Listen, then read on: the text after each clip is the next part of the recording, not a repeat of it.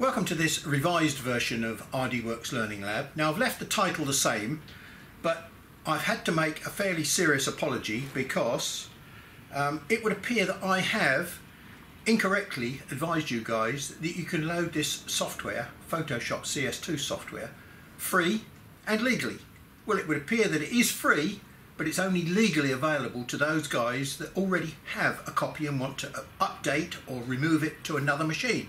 Because I didn't read the full installation instructions and conditions, um, it appears that I'm advising you guys to steal software. That's not part of my moral panorama. So we'll jump straight into the situation where let's assume that you already have Photoshop and we'll proceed with the next part of the video. I am no Photoshop expert.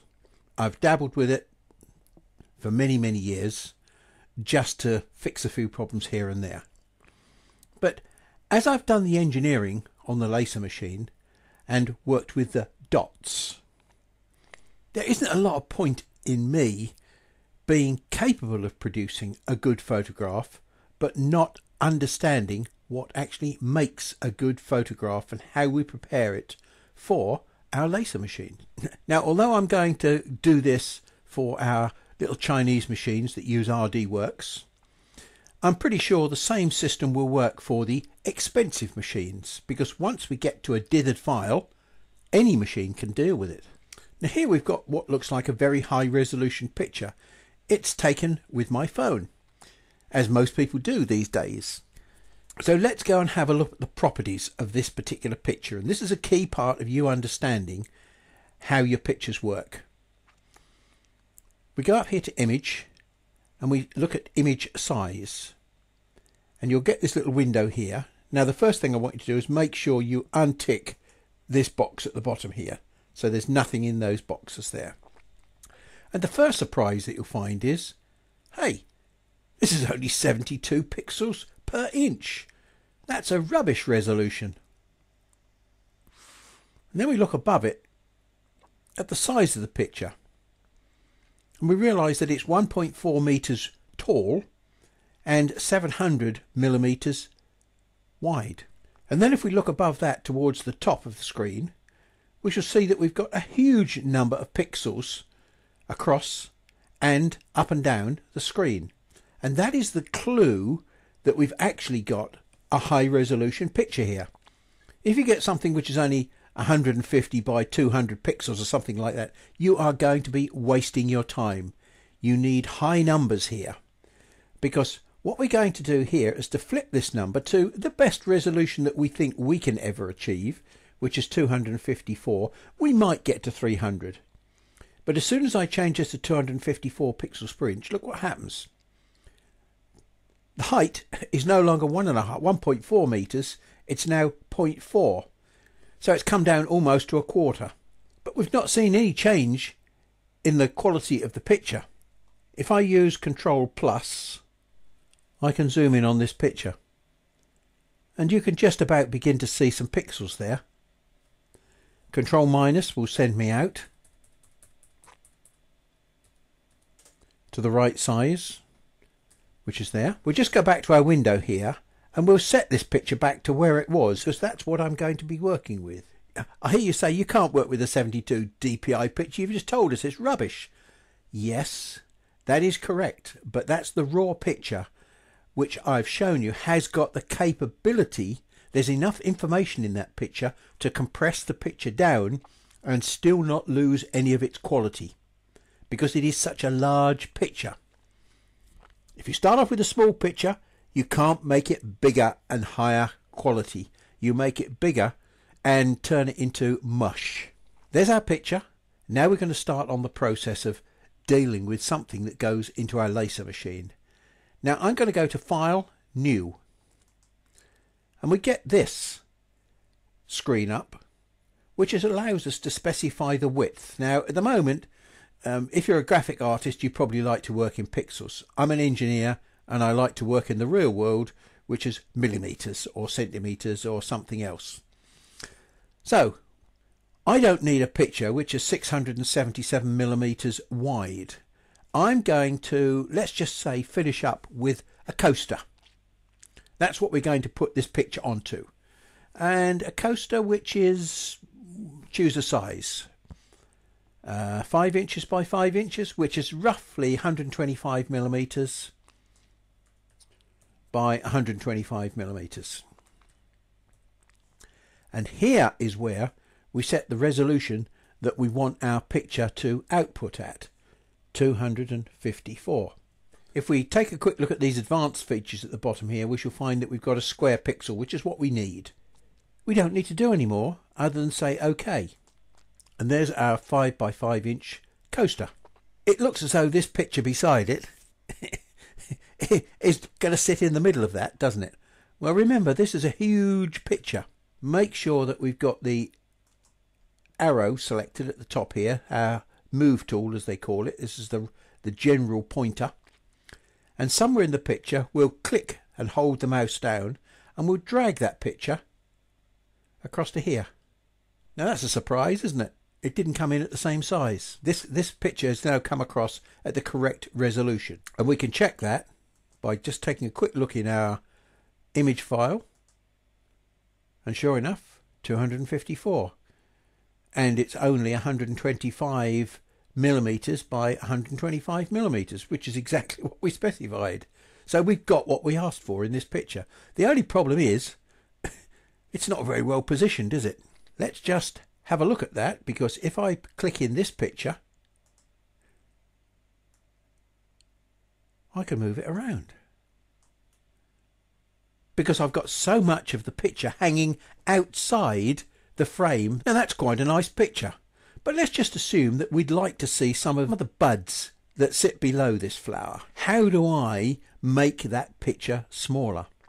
Just above this picture, you'll see that there's something called Show Transition Controls. Click on that.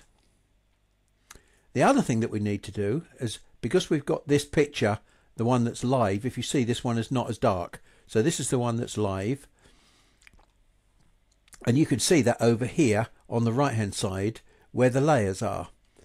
So what we're going to do is we're going to go into the little triangle up the top right hand corner of that layer block and click on it and we shall find that we get something in there called smart object group into the into a new smart object click that as well and that makes this picture now something called a smart object we won't get too concerned about it at the moment but it's good to have this as a smart object okay next thing that we have to do is to shrink this picture down. We're not going to shrink it down and leave it there. We're going to shrink it down so that we can work on it. So we press the control key with the minus. Oh, every time we click the minus, look what happens. Now we've found our original picture. Look, it's sitting here and we're just taking a little window on that original picture. Okay, so we need to click on a corner handle with those little arrows as you see. And then we need to hold the shift key down and the shift key will constrain the proportions. So there we go, we're constraining the proportions and we've got to be careful because we can't make the picture any narrower than our image. So there we are. Now we can now let go of the shift key. We can click anywhere in this rectangle or in the picture itself and we can move the picture back into view. So yes, we can get those little buds in, but now we're missing a bit of the side of the picture. Back to the arrows on the corner again, hold down the shift key, and we can gently tease the picture out until it fills the area that we want. And then we can let go of the shift key and we can now move the picture by clicking anywhere in that rectangle And there we go. So now we've moved our picture into a nice position and we've sized it to fit the envelope that we're going to try and reproduce. At this point, we're happy. So we can basically say OK by pressing the Enter key. We can zoom in on that picture now with our Control plus key. And look, it's still a high quality picture. We haven't compromised the picture at all, just because we appeared to make it small. we've still got the original details in that image. So let's take it out again to any size and that could be our final image. Now before I save this and you'll say well you're surely not going to save that because it doesn't fill the frame. Don't let that worry you. Look, I can assure you that that picture is 254 dots per inch because it's in this frame which has got properties of 254 dots per inch. This one hasn't. This one's 72 dots per inch. But as I've just demonstrated to you, we can zoom right in on this and it's no different than this one. Okay, so there's our finished picture. Now we need to rework this slightly because first of all we need to go to mode, grayscale.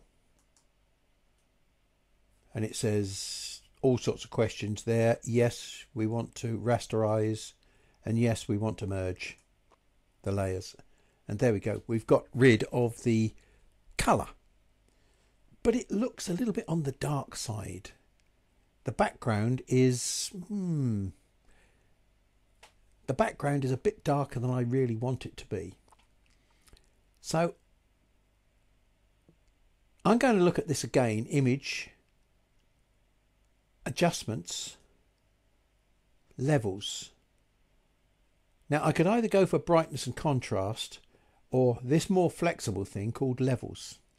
So if I go into levels, look I've got all this control here which allows me to play with various parts of the picture. Now there is another feature which allows me to do it in a slightly different way. And that's in image, adjustments, uh, curves. So here's white and here's black. And look, if I put a dot in the middle and then I drag that dot around, look what happens.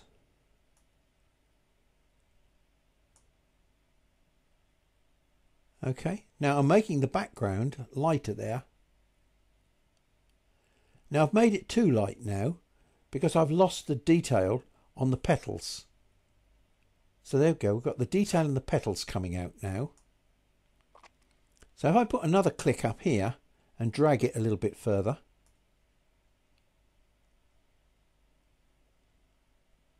look, I'm messing around with the background. So I'm messing around with the background without actually changing the colour of the object very much. So now look, I've got this leaves and the flower to almost pop out of the background. It's no longer quite as black in the background. So this is a very powerful thing that you can play with.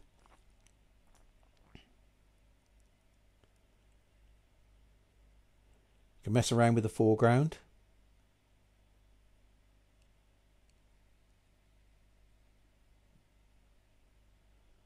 I think the foreground should be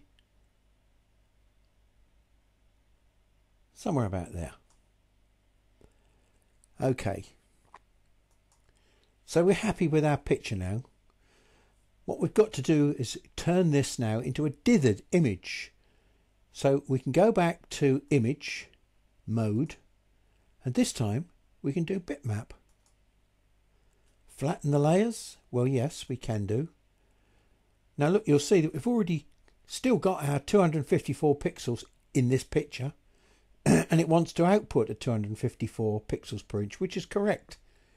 Now we could choose all sorts of dithering patterns here, but the sensible one is the diffusion dither pattern. That's the most sensible to use. Okay. that looks terrible, doesn't it? Yeah, that's just a screen presentation. So don't get too upset with what you see. What we should do at this point is to save this file, save as, and we will save it as a bitmap. Flower bitmap, there we go, save. And we'll come back into RDWorks where we will say, right, we will import that file now, open. I think you'll see that it's actually not that bad. I mean, it is definitely, when you zoom in, it's definitely made up of pixels single dots I think that that might come out quite nicely. We need to set our parameters. We know that we can run generally at about 200 millimeters a second. Output, yes. Blowing, no. Scanning, yes. Well, we only need to go probably at around about 11 or 12 or something like that on my 60 watt tube. And the interval, well, we've set this to 254, which is 0.1. X swing, fine. No ticks up here. But there is one other thing that you must, must, must remember.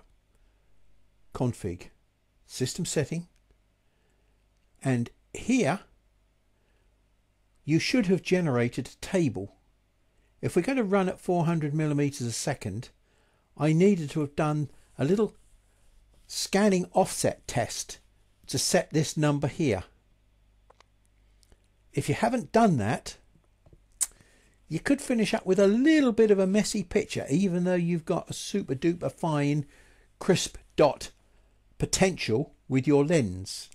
I have covered this in previous sessions, but if all else fails, a quick and simple check is to do this. Draw a very simple little program that looks like this. There it is. Set it to scan as opposed to cut. Doesn't matter about the power, but maybe 25 or something like that. 25. The important thing is no ticks here. We'll have X swing and set the interval to 0.5 of a millimeter. Now it might seem silly, so set it to 0.5. OK. And here we are. We're going to draw this little letter I, or the number 1, with a series of lines across it, so they look like a ladder. Now, unless the ends of the ladders line up, left and right, you're in trouble. And that's what this allows you to do. So if you take a look at that picture and then go to config, system setting, 400. Make it 400. If you choose 399, this will not work. So you run at 400 millimeters a second. What will happen is this compensation will come into play. So you need to find out what this reverse interval is. So you just play with this number and you go back and you retest and you retest this very simple little picture. And what you do, you look at the first line at the bottom and the second line and the third line, and you make sure you understand which way they are relative to each other. Because as you make plus or minus adjustments to the offset, you'll see the lines start to change relative to each other. You will only have succeeded when you've got a nice perfect ladder where all the edges line up. I'll delete that because it's such a simple program to create. Now, I did say that we weren't going to go to the machine today. Perhaps we will, just because I'm curious about how well this will come out. It is quite a dark picture. So, yeah, there's a potential for me to fall flat on my face with this one. Okay, well, I've, um, I'm going to be using my little piece of uh, beer mat card at the moment because that's the standard that I use for checking things. But we will go on and try it on a piece of wood in a minute. Uh, I've already set the focus up to about 11 millimeters and I've got this rather nice clean uh, dot pattern here which I've established so I know that the focus is correct. I'll set the increment up to 0.1 and we'll give it a try. 254 dots per inch.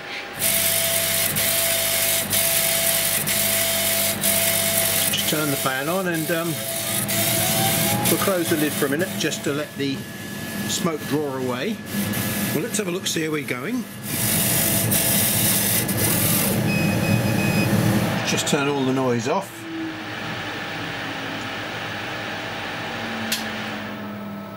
Including the little vacuum table. That's not a bad rendition of my pretty risky dark picture. And I have to say that here where you would think at this boundary line there would be a big step.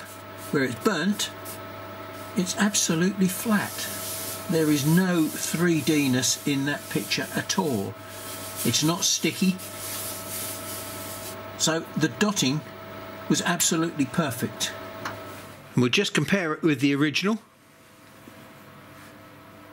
And you can see all the detail has come out. Now we'll try the same thing on wood because wood uh, has got completely different properties to this beer mat card. Now as I mentioned to you before, when I do this thin 3mm plywood, I put magnets on my table like this. So I've got nine magnets on here and I'm going to drop the board on here and this particular board is actually not too bad. Some of them are quite badly warped but this little trick here with a magnet on top and a magnet underneath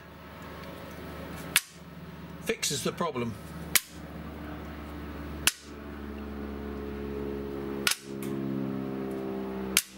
It's okay in the middle there, it doesn't push down, so it's, if anything, it's supported by the magnet underneath. If it was lifted up, I would put a magnet in the middle there as well, but I don't need it.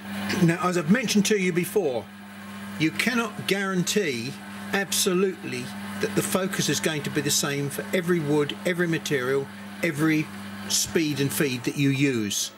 So I think the nominal speed that I used on here before was round about the same at 150 millimeters but I think I put the power up to about 20 or 22 so I'm going to test do my little dot test at the same parameters.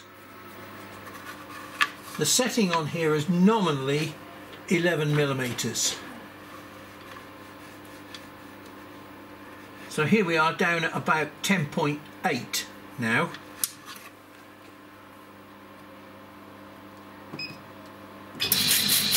Oh, that sounds really nice and crisp. In the corner of my table here, I've made myself a little thumb wheel so that I can manually adjust the lead screws to give me reasonably tight control on my focus because my little buttons go in steps which are too coarse.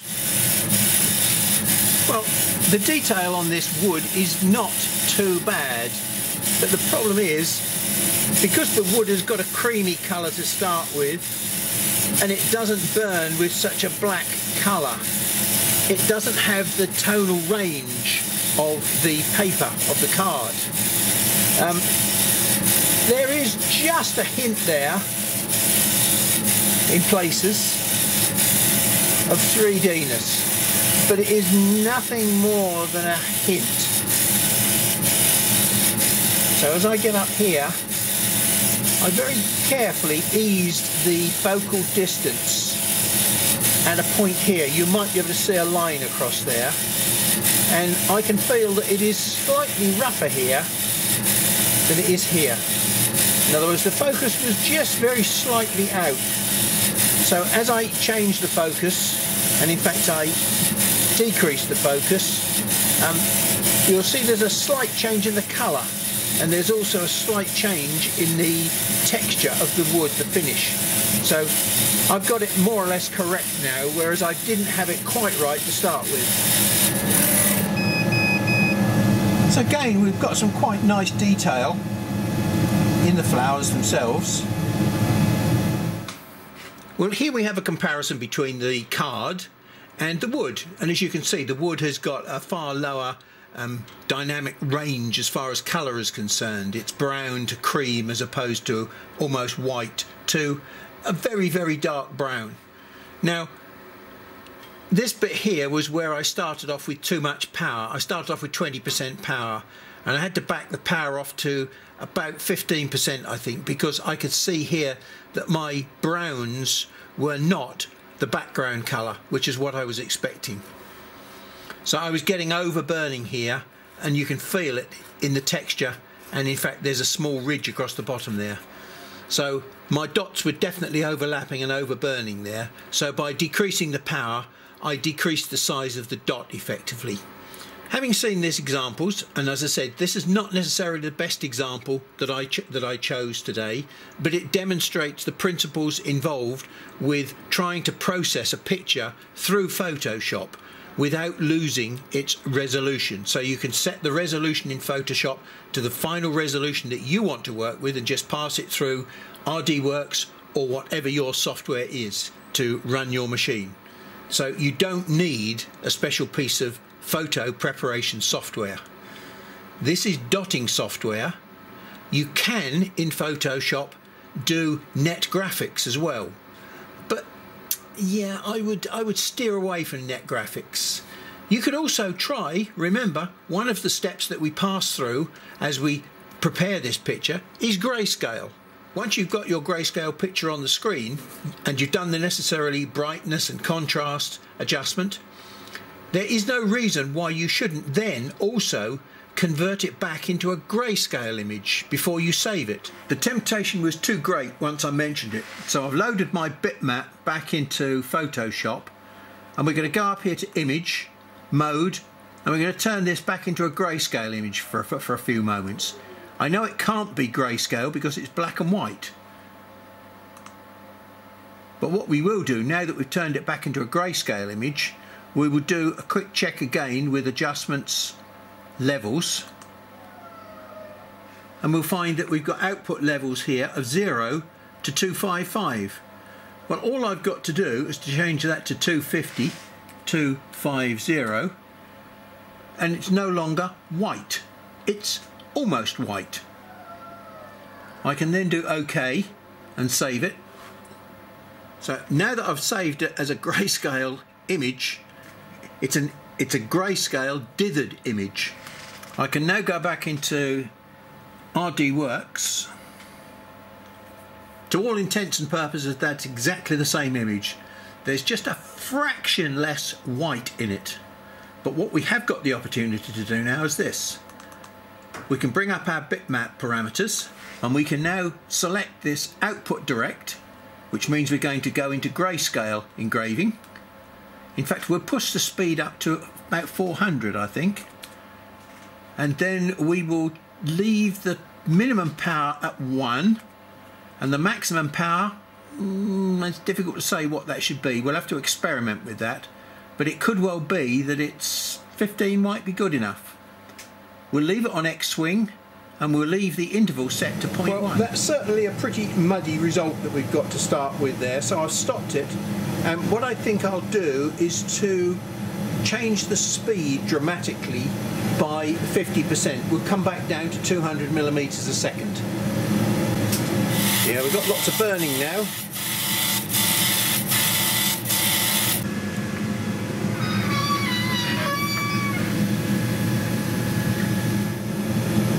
It's not that bad. It's got a little bit of a 3D feel to it, but hang on. That's what we were trying to do. We were trying to do some 3D engraving, but with very, very, very low values. I mean, it's very, very slightly muddier than that one. This one is a little bit crisper than this one. But on balance, it's again about a 90% comparison with dotting and I'm absolutely quite staggered by this. So this is still worth investigating further in another session. So good luck with your downloading of Photoshop and lots of happy hours of playing. Until the next session, goodbye.